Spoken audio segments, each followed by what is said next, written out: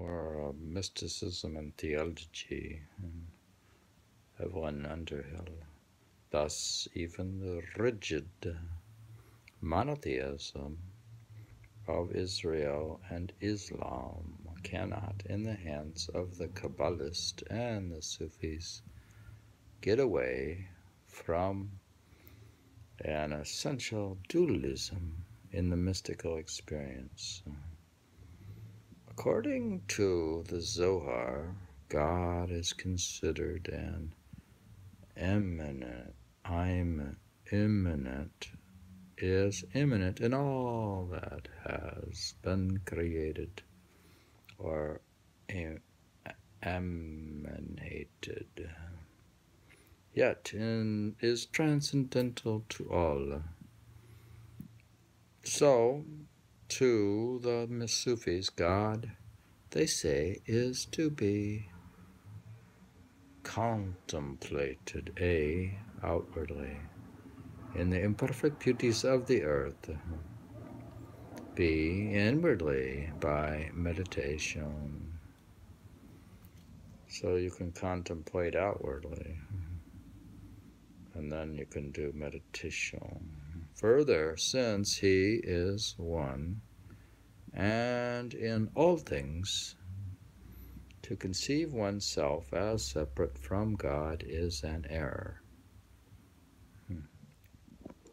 Yet only when one sees oneself as separate from God can one reach out to good. Thus, Delacroix, speaking purely as a psychologist, and denying to the mystical revelation, which he attributes exclusively to the normal content of the subliminal mind, any transcendental value writes with entire approval of Saint Teresa that she set up externally to herself the definite God of the Bible at the same time as she set up within her soul the confused God of the pseudo Areopagite, the one of Neoplatonism. The first is a guarantee of the orthodoxy of the second, and prevents her from losing herself in an indistinction which is non Christian. The confused God within is highly da- dangerous. Saint Teresa knew how to avoid this peril and served by her rich subconscious life by the exaltation of her mental images, by her faculty of subdivision on the one hand, and on the other by her rare powers of unification. She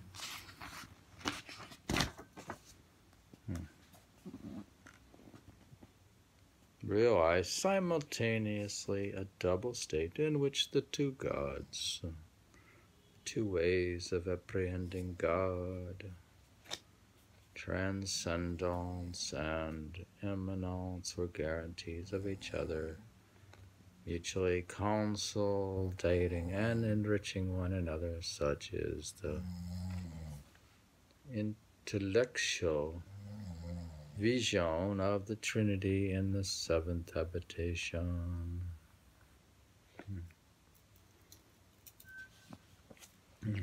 It is probable that Saint Teresa, confronted by this astonishing analysis, would have objected that her Trinity, unlike that of her eulogist consisted of three and not two persons, her his language, concerning confused interior and orthodox exterior.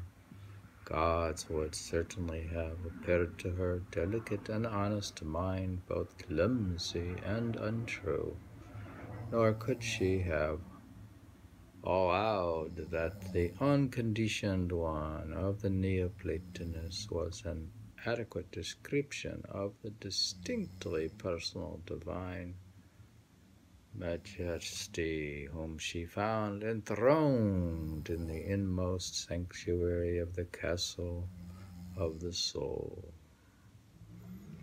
What Saint Teresa really did was to actualize her own experience, apprehend in the ground of her soul by means of her extraordinarily developed transcendental perceptions, the three distinct and personal aspects of the Godhead, which are acknowledged by Christian religion. First, the Father, pure transcendent being, creative source, and origin of all that is the unconditioned and unknown one of the Neoplatonist, who is neither this nor that, and must be conceived. pace, Madame de Delacroix, as utterly transcendent to the subject rather than set up within the soul. Secondly, in the person of uh, Christ, Saint Teresa isolated and distinguished the Logos, or creative word, the expression or outbirth of the Father's thought. Here is the point at which the divine substance first becomes apprehensible by the Spirit of man, that mediating principle raised up between heaven and earth, which is at once the mirror of pure being and the light of a finite world. The second person of the Christian Trinity is for the believer not only the brightness or express image of deity, but also the personal, inexhaustible, responsive fount of all life and object of all love.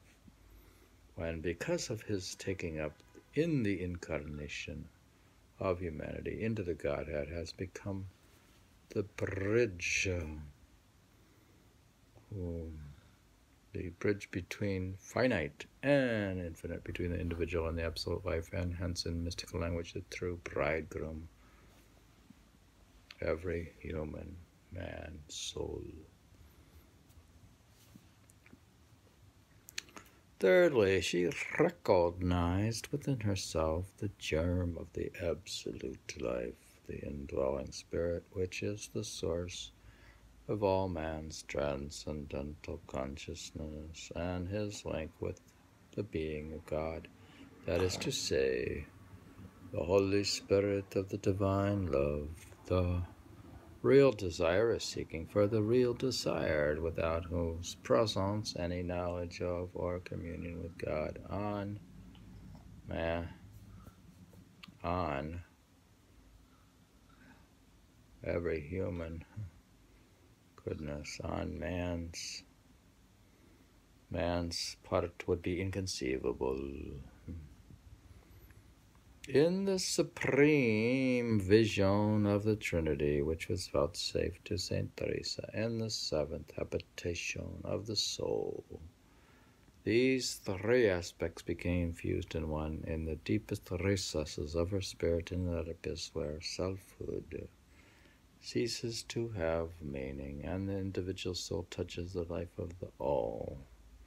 Distinction vanished, and she saw God in a point such an experience, such an intuition of simple and undifferentiated Godhead, the unity beyond those three centers of divine consciousness, which we call the Trinity of Persons, is highly characteristic of mysticism.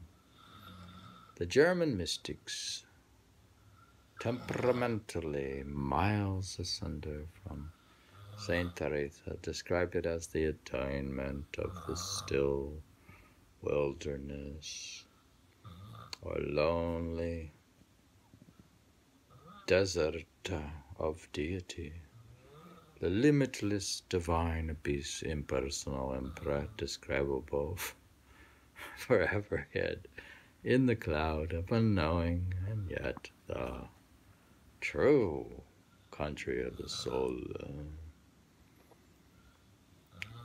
These statements, um, statements which appear when thus laid down to be hopelessly academic, violently divorced from life, were not for Saint Teresa or any other Christian mystic abstract propositions, but attempts towards the description of first-hand experience.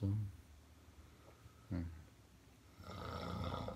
by some mysterious manifestation of the truth, she says, the three persons of the most blessed Trinity reveal themselves preceded by illumination which shines on the Spirit like a most dazzling cloud of light.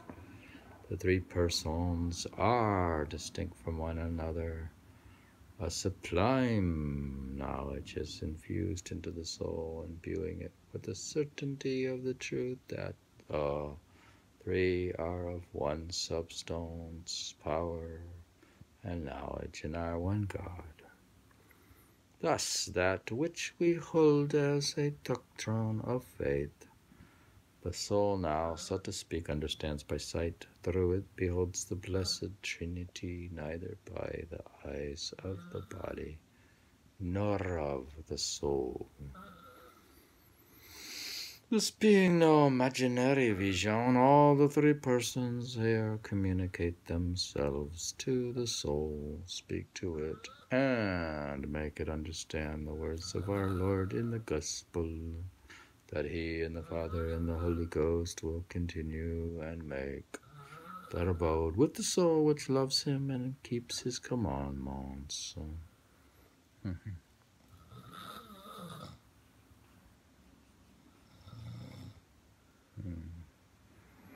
We're stopping there on page uh, 54.